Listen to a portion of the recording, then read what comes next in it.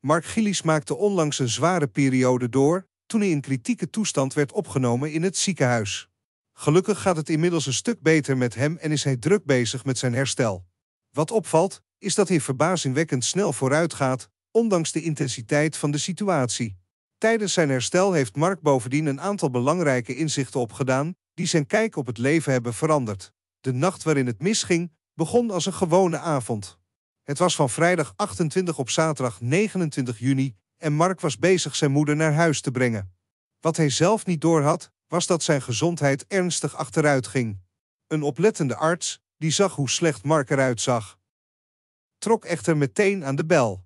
Dankzij deze arts belandde Mark op tijd in het ziekenhuis en werd hij op de intensive care opgenomen, waar zijn situatie al snel kritiek werd. Op de intensive care bevond Mark zich wekenlang op de grens tussen leven en dood. Terwijl zijn lichaam vocht om te herstellen, hield zijn vader, Peter Gillies, de fans regelmatig op de hoogte met updates over Marks toestand.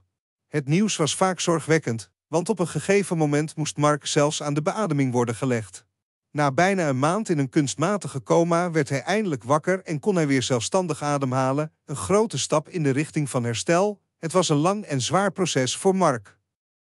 Hij moest opnieuw leren lopen, fietsen en allerlei dagelijkse handelingen uitvoeren die voorheen vanzelfsprekend waren. Fysiotherapie speelde een cruciale rol in zijn fysieke herstel, terwijl ook zijn mentale welzijn veel aandacht kreeg. De psychologische impact van zo'n traumatische ervaring is immers niet te onderschatten en Mark kreeg professionele hulp om dit te verwerken. Ondanks deze ingrijpende gebeurtenissen gaat het nu verrassend goed met Mark. Hij is 20 kilo afgevallen en voelt zich fitter dan ooit. Hij is zelfs alweer aan het werk op camping Blauwe Meer, waar hij zijn werkzaamheden heeft opgepakt. Na zijn ziekenhuisopname woonde hij tijdelijk bij zijn vader Peter, maar inmiddels woont hij weer zelfstandig en heeft hij zijn leven grotendeels hervat. Het is zelfs zo dat hij weer autorijdt en onlangs, tot ieders verbazing, alweer op zijn motor zat. Het herstelproces heeft Mark ook tot nieuwe inzichten gebracht. Hij is van plan vaker op vakantie te gaan en meer van de wereld te zien. De ervaring heeft hem doen inzien hoe belangrijk het is om goed voor jezelf te zorgen. Iets wat hij naar eigen zeggen eerder verwaarloosde. Ik zag er natuurlijk uit als een gehaktbal op stokjes, grapte hij, verwijzend naar zijn voormalige levensstijl. Marks verhaal is er een van doorzettingsvermogen, zelfreflectie en hoop.